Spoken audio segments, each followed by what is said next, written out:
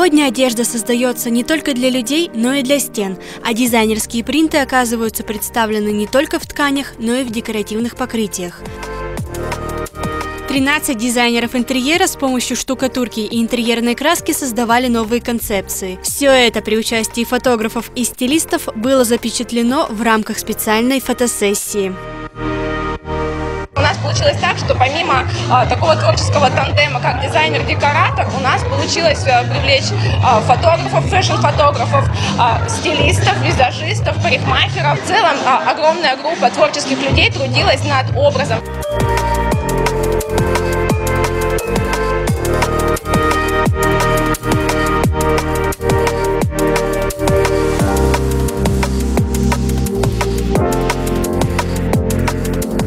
Единственный э, планшет сделан на, на дереве, у всех остальных это на гладких поверхностях, поэтому мне пришлось ездить на рынок, купить самой эти палки, привезти шпон, а, на который потом наносились декоративные покрытия.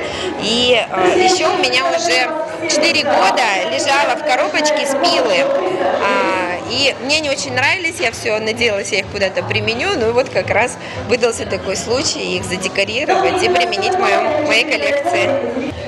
Самый вдохновляющий тренд 2018 года для нас оказался это простейшие поверхности, матовые, а, с насыщенными цветами. Вот именно вот этот эффект хотелось показать на пано, как можно в интерьере сделать декор с помощью простейших стен, простейших декоров, придав им интересный цвет.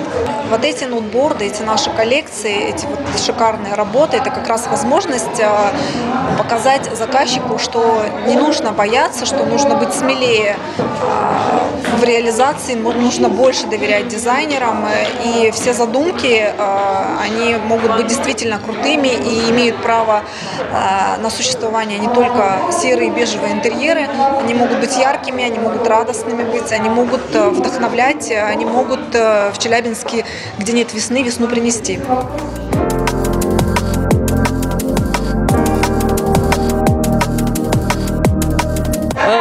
Каждая вот такая презентация приносит что-то новое, новую моду, новые идеи, новые вдохновения. То есть иногда ты посмотришь, что это какая-то лепнина, а может ты из нее какую-нибудь абстрактную композицию составишь, и она будет вообще не классическая. Как бы вот это вдохновляет, расслабляет и заряжает какой-то такой энергетикой, когда ты приходишь с такого мероприятия, открываешь компьютер и начинаешь творить просто.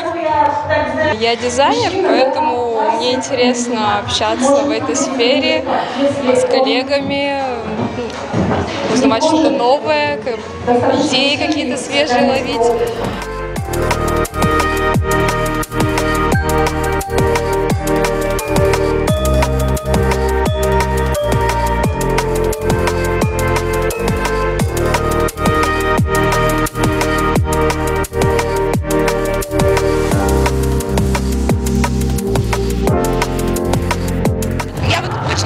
Сейчас время, когда каждый человек может стать ну, брендом. И он вот то, что он делает, э, вот результат его труда, да, оно может быть востребовано. И поэтому в дальнейшем мы планируем проводить и второй сезон, потому что очень много откликов мы получили, очень много отзывов, и люди хотят дальше участвовать и создавать что-то новое для людей, для того, чтобы это было более доступно и ну, более массово.